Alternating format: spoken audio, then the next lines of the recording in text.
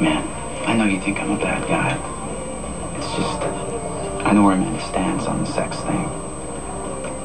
Look, I respect her for it. I do. You know, I, I would give anything for the self-control wait for her. I mean, this whole thing with Hillary is it's just physical. It has nothing to do with how much I love Amanda. Great. It's okay, I understand.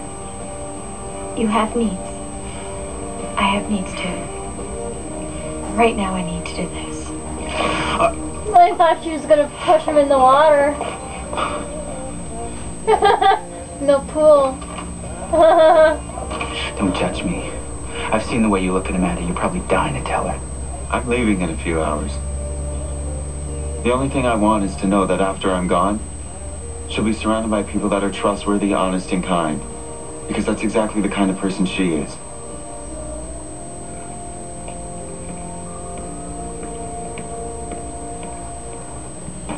Bye, guys. Where are you off to? Al, Well, I'm sure whatever it is, it can wait. Aw, Al's gonna be leaving soon. shouldn't you call him Noah Peterson? That's his real name. Hey, now that's not cool. You get back here, Josh. Steven. He's protecting himself from some pretty strong emotions right now. We shouldn't be running off like that. We just let him deal with it in his own way.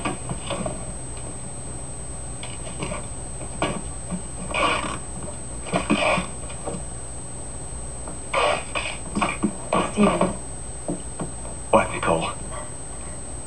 Can I be just a little bit upset? Yeah, Kyle's going off to his home. That's where he belongs. Doesn't make it any easier.